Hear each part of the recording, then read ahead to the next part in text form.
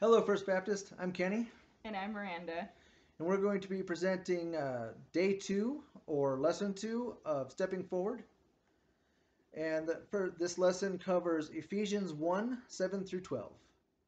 In him we have redemption through his blood, the forgiveness of our trespasses according to the riches of his grace, which he lavished on us.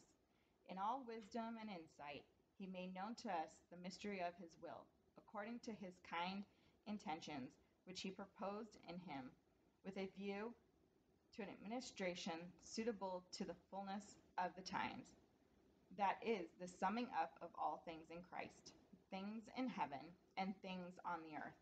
In him also we have obtained an inheritance, having been predestined according to his purpose, who works all things after the counsel of his will, to the end that we who were the first to hope in Christ would be to the praises of his glory.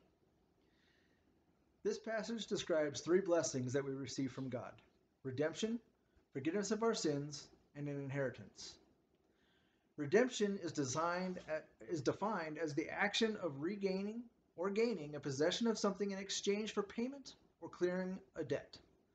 When Jesus was sacrificed, he cleared our debt of sin, allowing us to gain possession of both forgiveness of our sins and a heavenly inheritance upon our death. This paves the way for the next two blessings.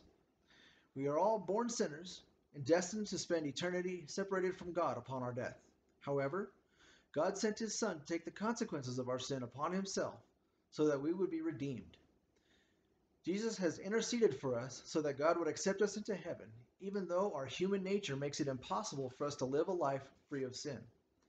It is only because the grace of God that our sins are forgiven and we can go to heaven when we die. Joining God in heaven is the third blessing we learn about in this passage. We all receive different blessings from God while we're here on earth. And upon our arrival in heaven, we all receive the biggest blessing we can we can imagine. We inherit all the riches of God. All three of these blessings are available to us because of the grace of God.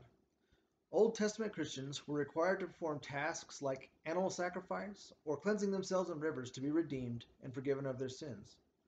Starting in the New Testament and continuing until now, however, we can receive these blessings because Jesus became the sacrificial lamb and his blood cleansed us of our sins. The challenge for us this week is knowing how blessed we are, even during difficult times like we've been experiencing recently. I challenge you to give thanks to God for everything he has given you. I'd be willing to bet that every one of you can make a list of at least 10 blessings you have received from God. Try reading that list out loud while you pray, and do this before you make requests of God. Come to Him with thanksgiving first, and then for help. Have a good day. Bye.